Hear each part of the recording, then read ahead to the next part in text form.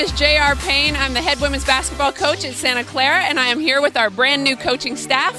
Uh, we are chilling for charity today. Uh, we've been called out by a bunch of people. I myself have been called out by Tracy Morris Sanders up at St. Mary's College and Selena Ho down at Westmont College.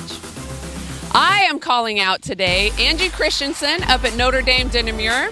I'm calling out Tamara Inouye from New Mexico State University and the fabulous senior women's administrator at Santa Clara, Stacy Gustafson.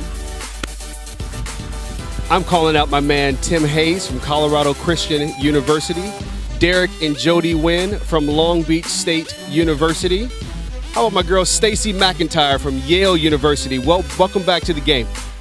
I'm calling out uh, Willette White, and I was called out by Dan Muscatel and KI from Cal Poly SLO.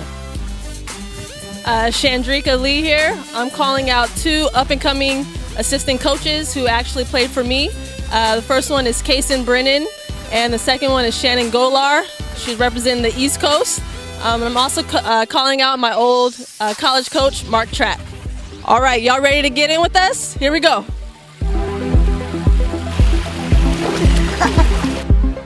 Gotcha! We're gonna take you to another spot on campus.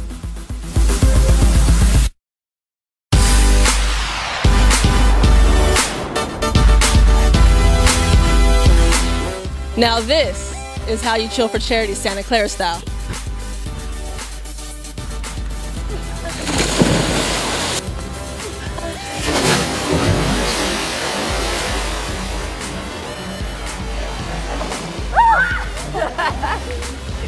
chill for charity. oh.